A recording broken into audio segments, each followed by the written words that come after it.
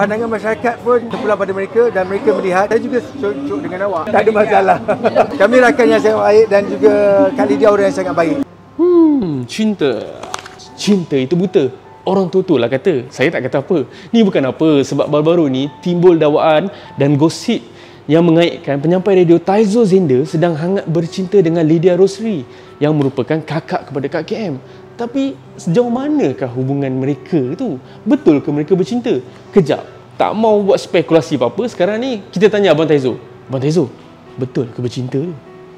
Sebenarnya saya, berkawan baik sebab kita masing-masing ada bisnes yang baik. Jadi kita berkawan dengan cara baik. Saya berkawan dengan semua orang. Saya belum lagi ada uh, kata-kata putus, ada hubungan mesra ke hubungan uh, terlarang ke apa belum lagi. Saya mengharapkan apa yang berlaku pada hari ini ke ataupun besok lusa saya tak pasti. Uh, tetapi untuk mengatakan ya ataupun tidak saya tidak katakan apa-apa sebab uh, yang penting sekali hubungan perniagaan kami sangat baik. Netizen membuat spekulasi bahawa Pandangan masyarakat pun terpulang pada mereka dan mereka melihat saya juga cocok dengan awak. Tak ada masalah. Kak Lydia kat belakang tu. Kami rakan yang sangat baik dan juga Kak Lydia orang yang sangat baik. Dia uh, seorang uh, ahli perniagaan yang sangat berjaya. Saya juga menumpang belajar bekerja dengan dia macam mana cara untuk sama-sama kita naik sebagai seorang usahawan ya. Mungkin masa yang sesuai bila anak dah Apa? Nak mak tak? Tak nak. Dia lebih selesa dengan ayah dia. Dengan bapa dia. Saya apa? Ada saya apa? Sebenarnya saya tidak meletakkan apa-apa harapan ataupun apa-apa impian uh, dalam perkahwinan sebab saya pun pernah putus cinta. Saya pernah mengecewakan orang, saya juga pernah dikecewakan. Jadi saya tak meletakkan apa-apa harapan. Kalau ada jodoh ada rezeki saya, pasti saya akan akan beritahu kepada anda. Zaman sekarang anak-anak memang susah untuk dijaga. Dia tak sama macam dulu kita kan. Kita takut dengan mak ayah, dia ni lain sangat. Tetapi alhamdulillah, inilah pemata hati saya. Walau apa-apa pun berlaku, inilah sebenarnya yang saya ada. Kasih sayang cinta saya pada seorang anak ah, itulah. Itu yang kuatkan saya tu. Nak kata saya ni bukanlah orang yang pandai jaga budak ataupun jenis yang kan setengah orang dia suka budak-budak kan. Uh, saya tak macam tu. Saya bukan tak macam tu maksud saya tak pandai tak pandai layan budak. Ada setengah jumpa baby tu cium kan. Saya tak macam. Tapi mungkin anugerah ni membuatkan saya belajar menjadi seorang ibu dan juga bapa. Ah. Ha, tadi kita dengar jawapan daripada Taizo. Sekarang ni kita nak dengar pula jawapan daripada tuan punya badan iaitu Lydia Rosli. Betul ke korang ni bercinta? Dan kalau bercinta, agak-agak bila nak berlangsung? Tepuk sebelah tangan pun tak boleh juga kan?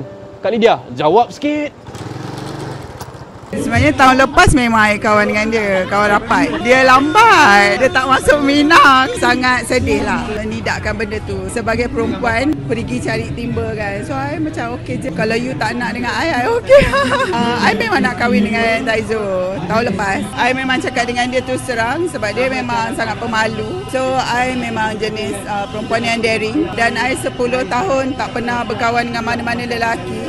So, bila dengan dengan dia, I macam terbuka hati lah. Bagusnya dia memang membuka hati saya untuk lelaki. Lama ni saya dah tak fikir lelaki dah dalam hidup. Sekarang kita orang kawan lah sebab tak nak hilang saya lah. Ah, gitu. Nak hati untuk lelaki lain kan. Tapi tak Abang Taizo macam terbuka hati.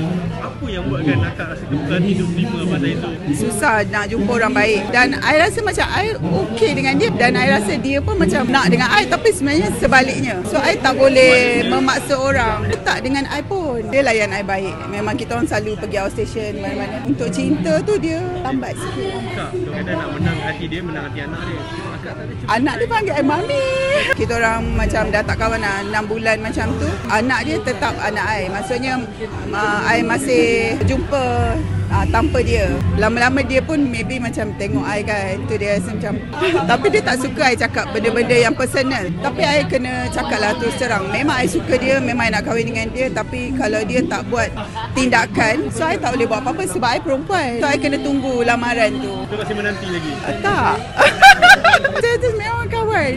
Ha, sangat manja. Dia pula tak suka perempuan pegang-pegang kan. I memang macam eh lewe macam tu. I memang macam tu perangai. Tapi sekarang I dah tak ada dah perangai macam tu because I dah ada boundaries kat situ kan. Uh, kalau lamaran I tak tahu. I tak tahu perasaan I masa tu. Tapi mak I adalah sebut. Cepatlah mak I cakap. Mak suka. Uh, mak suka dengan Taizo. Mak adalah macam bercakap video call dengan dia masa tu. Raya tahun lepas. Uh, tahun ni kita kan dah tak kawan. So tahun lepas mak kata bila nak masuk berminang macam tu lah mak direct. Tapi dia macam uh, macam ha, susah lah. Tu pun tak boleh nak paksa kan hati orang.